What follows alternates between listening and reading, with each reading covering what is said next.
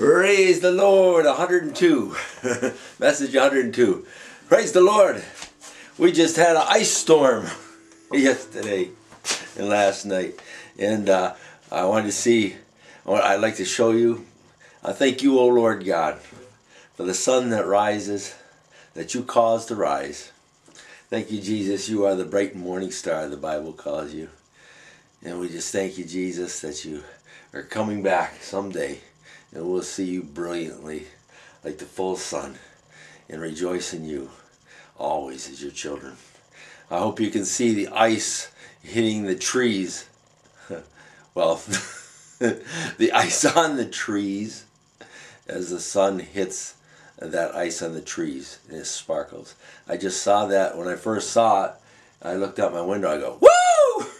that was see that sparkling. Wow. Uh, so, uh, God's Word is sparkling and alive. I encourage you as always to uh, uh breathe in deeply with a smile and uh, say God's Word. Proverbs 15:30 says, "A cheerful look brings joy to the heart, and good news gives health to the bones." Proverbs 15:30. A cheerful look, the NIV version, New International Version, uh, one of their publications says uh, Proverbs 15 30. A cheerful look brings joy to the heart, and good news gives health to the bones. Let's put a smile on each day. And with a smile, breathe deeply, breathe in God's word. 2 Timothy 3 16 and 17. All scripture is breathed out by God and profitable for teaching, for reproof, for correction, and training in righteousness that the man of God, the woman of God, may be complete, equipped with every, equipped for every good work. This is from the English Standard Version Bible, 2 Timothy 3 16 and 17. All scripture, God's word, all scripture is breathed out by God and profitable for teaching, for reproof, for correction, and for training in righteousness, that the man of God may be complete, equipped for every good work. Pray with me. Thank you, God. May we always come to your word. Breathe it in, for it is your breath. For it equips us for life. We thank you for your word, for speaking to us through your word in the Bible. In Christ's name we pray. Amen and I share the words of Jesus Christ from uh, the book of Revelation 3:20. Jesus says uh, to us, "Behold, I stand at the door and knock. If anyone hears my voice and opens the door, I will come into him and will dine with him and he with me." Revelation 3:20 in the New American Standard Bible version. Revelation 3:20. Behold, I stand, Jesus says this. Behold, I stand at the door and knock. If anyone hears my voice and opens the door, I will come in to him and will dine with him and he with me. Oh God, this day we invite you to live in us. We thank you, Jesus, for your presence in us through the Holy Spirit. May we hear you dining with us, fellowshipping with us every second of every day. And may we fellowship with you. We pray in your name, Jesus. Amen. And one more I pray, or I say, Jesus speaks this. Uh, recorded in uh, John 8 12. Again, Jesus spoke to them, saying, I am the light of the world. Whoever follows me will not walk in darkness, but will have the light of life. The light of life. Wow. God sparkling uh, on that icy trees. And from the English Standard Version, John 8 12. Again, Jesus spoke to them, saying, I am the light of the world. Whoever follows me will not walk in darkness, but will have the light of life. Lord, may we always follow you. Uh, know that you're with us and follow you in our life. Join with you in, in praising you and obeying you in our life that we may have the joy of life. That we may know where to go and walk correctly. In Christ's name we pray. Amen and amen. Now I encourage you also to read a proverb every day.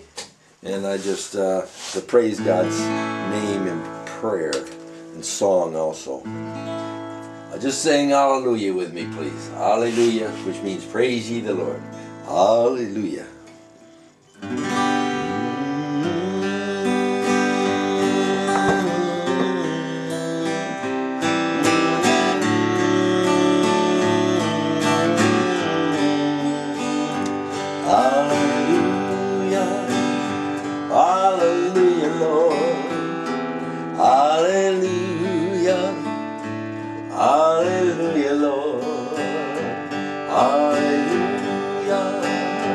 Hallelujah, Lord.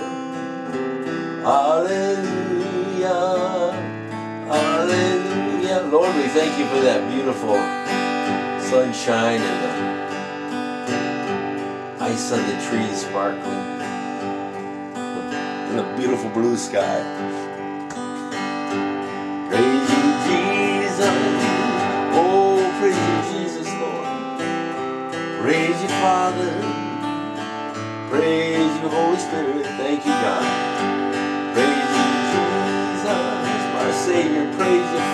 Watching over us. Praise you, Holy Spirit, for living in us. Praise you, Lord.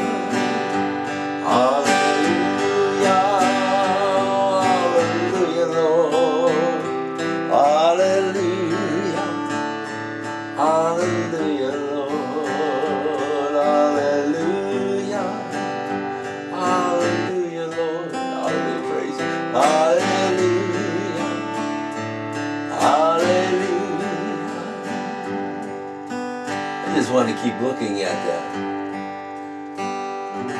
sparkling ice. what Proverbs? Let's read a proverb. Proverb 8 I'm on. Read a proverb every day. There's one for every day of the month. And I just thank you, Lord.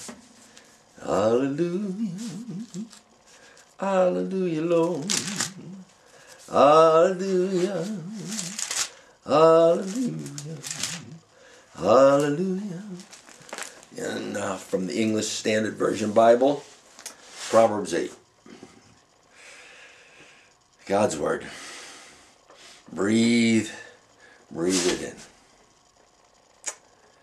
Does not wisdom call, does not understanding raise her voice? On the heights beside the way, at the crossroads she takes her stand, beside the gates in front of the town. At the entrance of the portals she cries aloud. To you, O men, I call, and my cry is to the children of man. O simple ones, learn prudence. O fools, learn sense. Hear, for I will speak noble things, and from my lips will come what is right. Hmm.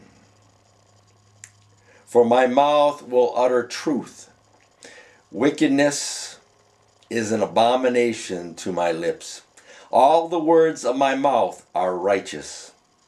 There is nothing twisted or crooked in them.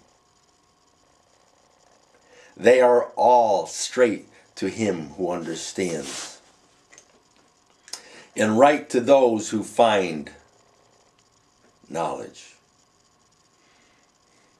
Take my instruction instead of silver, and knowledge rather than choice gold. For wisdom is better than jewels, and all that you may desire cannot compare with her. And all that you may desire cannot compare with her, with the wisdom God gives.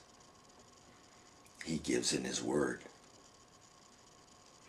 I, wisdom, dwell with prudence, and I find knowledge and discretion. The fear of the Lord is hatred of evil. I read that again. The fear of the Lord is hatred of evil. Pride and arrogance and the way of evil and perverted speech I hate. I have counsel and sound wisdom. I have insight. I have strength. By me kings reign and rulers decree what is just.